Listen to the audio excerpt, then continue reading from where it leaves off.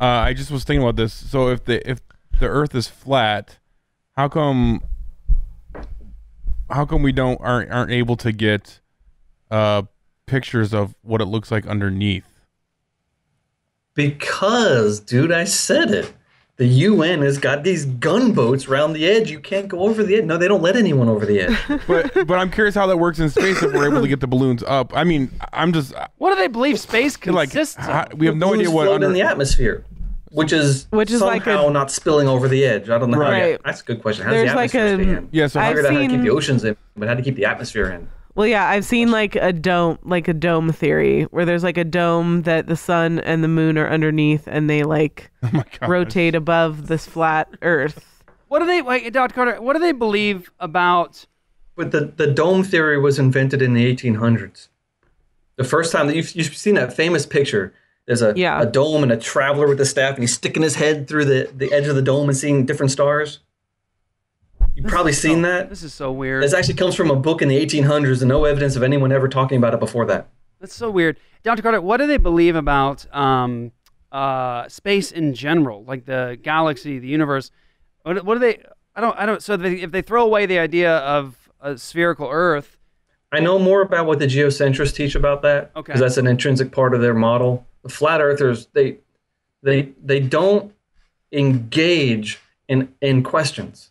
They talk about what they think is true, and that's all they talk about. Right. And they never they don't they don't say, "Oh, if this is true, then this also must be true." The geocentrists have done a lot more thinking. The flat earthers they don't because they can't. If you think about outside the box on any of these issues, you know your model's going to fall apart. Which is why I think this is really being driven by charlatans that are atheists and who just started doing this for fun. And for some reason, some Christians said, "Well, you know, if the Bible teaches it, it must be true." Hmm. wow, that's a good. That's a Yeah, good- I've also heard that, That's a good and. I'm scared to agree with you. Yeah. But that's a good theory. you know, I mean, it could be. Yeah, yeah, that would make a lot of sense.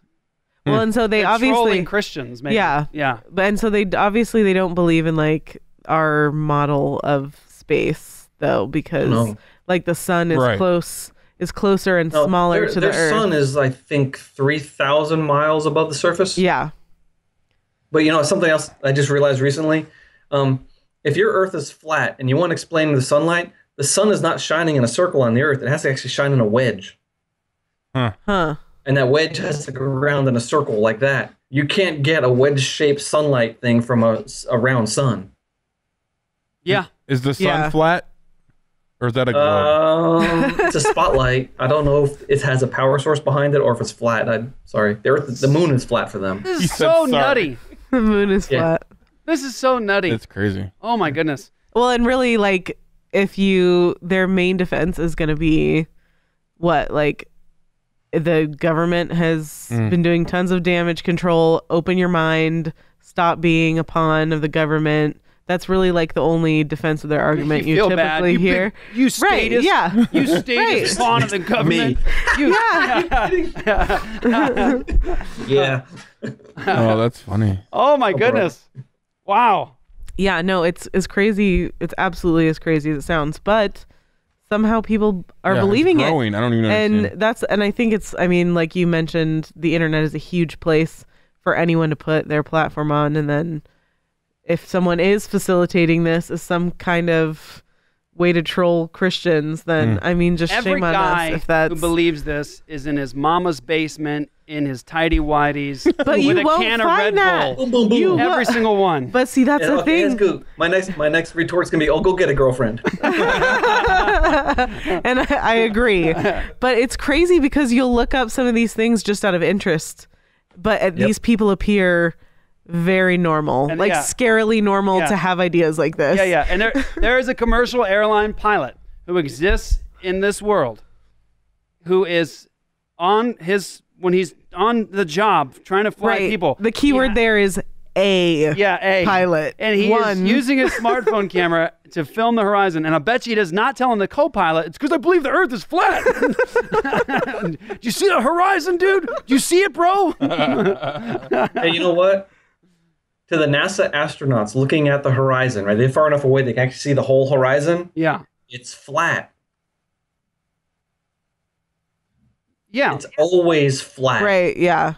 because you're looking at a sphere. The higher up you go, the more you can see of it. But all you see is literally a slice of it, Right. and a slice of a circle is always flat because you see that what you can see. And the further, all of a sudden, you can see the whole thing. Duh. right.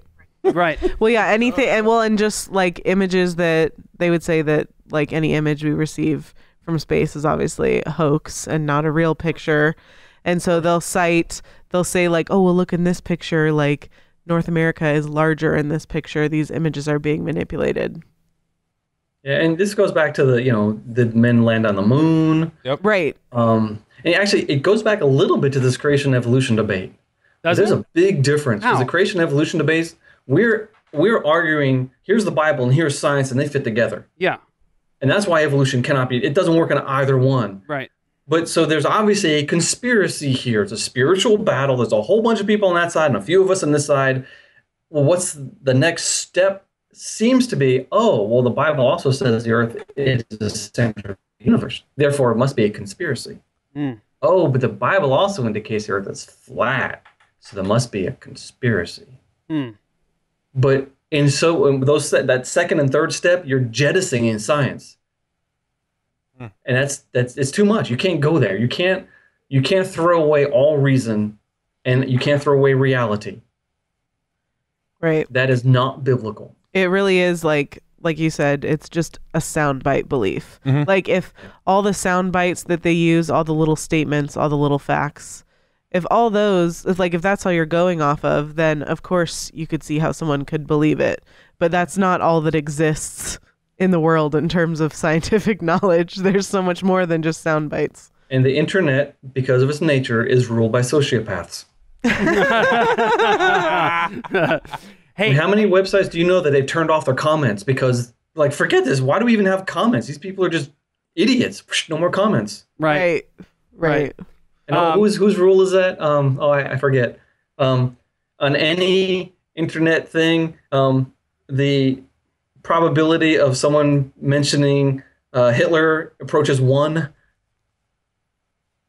This is it's, a, it's a new law. It's the Yeah. law. Somebody's law. Yeah, yeah. forget Oh, the I forget the name of the law. Wait. I know what you're talking about. Yes, yes. Yeah, it's like it'll always happen no matter what. Someone's gonna be called a Nazi. Nazi, Right. especially It's- today. Oh, there it is. Nazi, SS.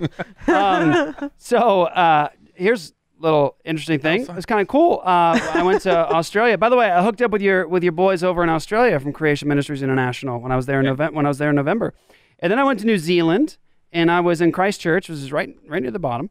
And uh, I got to see uh, my hotel. I could look out my window of my hotel, and about 50 feet away was a, a fence from the United States government in New Zealand. Uh, Really? And it was their Antarctic, uh, Antarctic um, uh, thing. It was the where they go and they. I forget. There's a name of it. I forget, I'm trying to think of the name of it. It was a U.S. United States military installation to study Antarctica, and uh, I, I guess Notice they weren't on Antarctica. that's right. I did see a couple UN blue hats running around, a bunch of deceivers, Nazis. Um, Could you see? Could you see the edge of the earth from, from no, Christchurch? I couldn't, and that's the problem. That's why I wanted to have Dr. Carter on today. now you've, you've given me some solace, Dr. Carter, because I was getting worried there.